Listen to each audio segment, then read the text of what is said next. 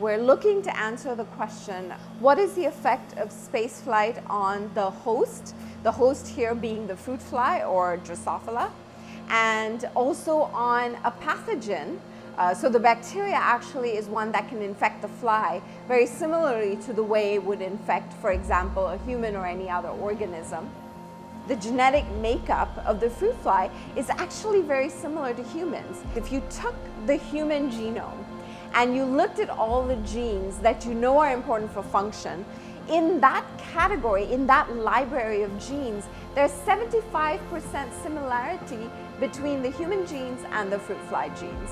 In a box this size, thousands of flies can be flown and brought back so that even if you see an important difference that is small, you can get statistically significant data because you get 3,000 flies or 4,000 flies coming back in a box that size. We have a very nice new piece of hardware. The company Techshot, we've been working together with them for the last few years uh, in developing a very capable piece of hardware. What's so special about uh, the Techshot MVP is really that there are two internal carousels inside the unit and each one of them can produce anywhere from zero to two Gs.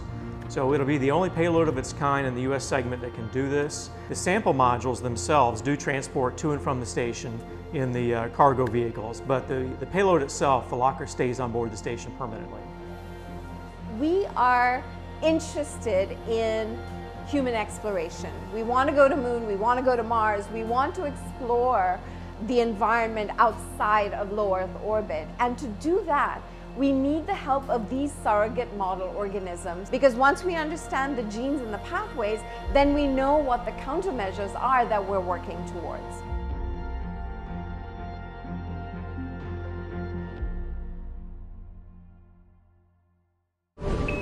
Subscribe for more space.